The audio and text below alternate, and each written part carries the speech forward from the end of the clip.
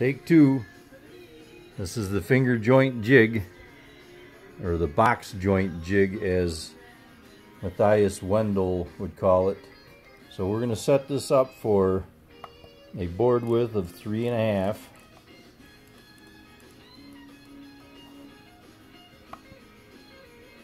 A blade width of 0.1 and a finger width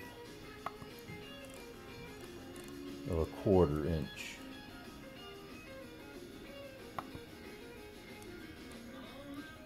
And we're going to hit the start and it should be ready to go.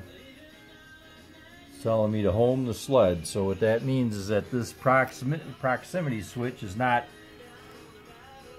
by that washer right there. So now it is, so now it reads ready to cut. So now we're going to make some noise.